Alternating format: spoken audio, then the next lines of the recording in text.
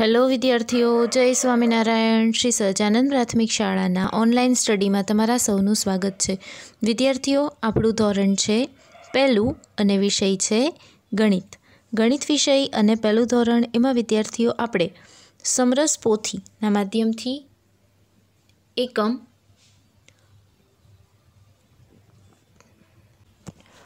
તેર પૂરતા હતા. વિદ્યાર્થીઓ, આજથી આપણી એકમ પરીક્ષા જે છે, જે શરૂ થાય છે, જેના પેપરો તમે શાળાએ આવીને લઈ ગયા છો.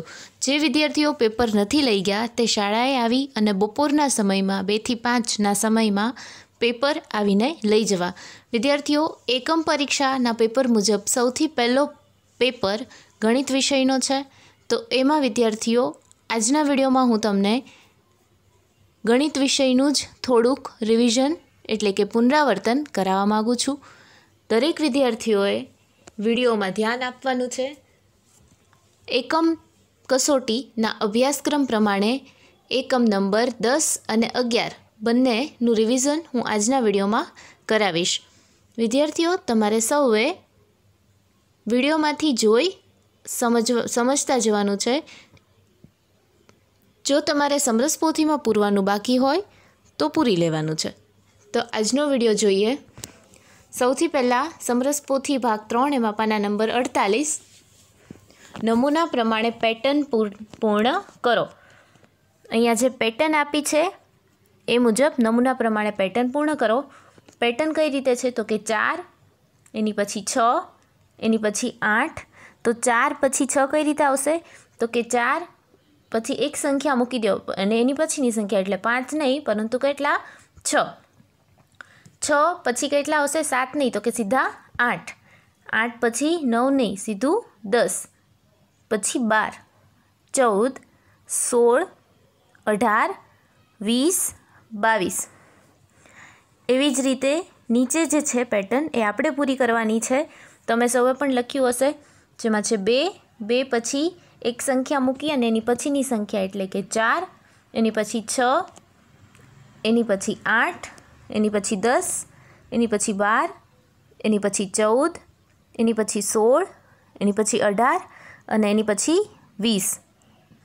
આવી જ રીતે આખા પાનામાં વિદ્યાર્થીઓ બબે મૂકી અને જે સંખ્યા લખવાની છે, જે આપણે અગાઉના વિડીયોમાં કરી લીધું છે. આ રીતે એક સંખ્યા મૂકી અને એક સંખ્યા લખવાની છે. એની પછી જોઈએ આપણે પાના નંબર ત્રેપન. એકાવન. સોરી એકસઠથી પાના નંબર ત્રેપન. સંખ્યા એકસઠથી સિત્તેર ક્રમમાં લખો. તો એકસઠ પછી શું આવશે? છગડે એકડે એકસઠ પછી છગડે બગડે બાસઠ. પછી છગડે ત્રગડે ત્રેસઠ. એના પછી છગડે ચોગડે ચોસઠ. એના પછી છગડે પાંચડે પાસઠ. બે છગડા છાસઠ. છગડે સાતડે સડસઠ, છગડે આઠડે અડસઠ,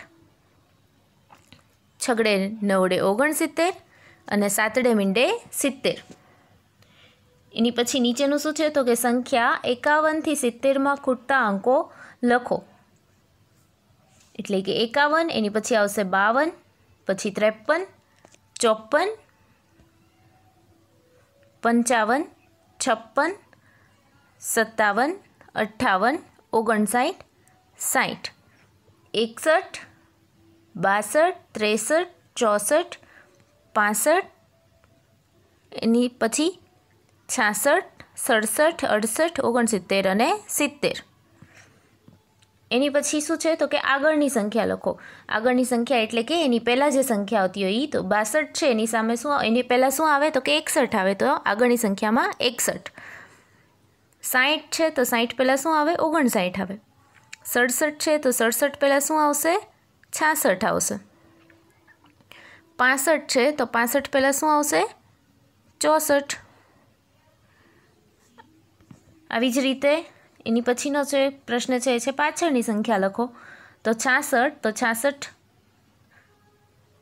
પાસઠ, તો પાસઠ પછી કઈ સંખ્યા આવે? તો કે છાસઠ. સાઠ તો સાઠ પછી કઈ સંખ્યા આવે? તો કે એકસઠ.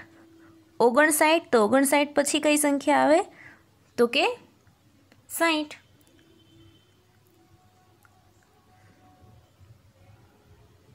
અને એવી જ રીતે સડસઠ તો સડસઠ પછી કઈ સંખ્યા આવે? અડસઠ. એની પછી પાના નંબર પંચાવન. એમાં પણ એ રીતે જ છે. એકોતેરથી એંશીની સંખ્યા લખવાની છે. અને આવી રીતે સંખ્યાને ચડતા ક્રમમાં. ચડતા ક્રમમાં એટલે કે વિદ્યાર્થીઓ એક એક એક એક વધારીને એકોતેર. એકોતેર પછી શું? બોતેર. બોતેર પછી શું? તોતેર. તોતેર પછી શું? ચુમ્મોતેર. ચુમ્મોતેર પછી પંચોતેર. એવી રીતે ચડતા ક્રમમાં લખવાની છે. એની પછી જોઈએ પાના નંબર એકસઠ, જેમાં અંકોના શબ્દો પ્રમાણે બોક્સમાં અંક લખવાના છે. એટલે કે અંકો લખવાના છે, સંખ્યા લખવાની છે. તો કે ચાર, ચારને અંકમાં કઈ રીતે લખાય? ચોગડે ચાર. નવ, પંદર, ઓગણીસ, બાવીસ. બાવીસ એટલે કેટલા? બે બગડા બાવીસ. સત્યાવીસ, બગડે સાતડે સત્યાવીસ. ઓગણત્રીસ, બગડે નવડે ઓગણત્રીસ. આવી રીતે આખામાં સંખ્યા લખવાની છે. તો વિદ્યાર્થીઓ, મેં તમને જેટલું કરાવ્યું, એટલું તમારે વ્યવસ્થિત રીતે સમજવાનું છે. એકમ પરીક્ષામાં ગણિતના પેપરમાં તમારે વ્યવસ્થિત રીતે લખવાનું છે. તો આજનો વીડિયો આપણે અહીં જ પૂરો કરીએ. જય સ્વામિનારાયણ.